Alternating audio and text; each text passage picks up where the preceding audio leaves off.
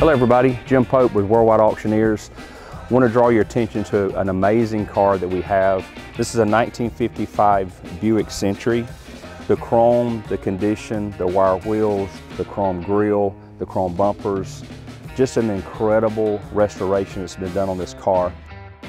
So as we take a closer look at the interior of this car, you're going to notice just how the dash is just really impeccable. The gauges are clear, all the paintwork is just in, in excellent shape. The pot metal that usually goes bad is not in this particular case. New carpet, seats, look at your door panels. This is a loaded up car, of course, it's a Buick. Power windows, power seat, power convertible top. So take a close look at this car. Don't let it slip away, don't miss it. Now I'm gonna point out something that's amazing about this car.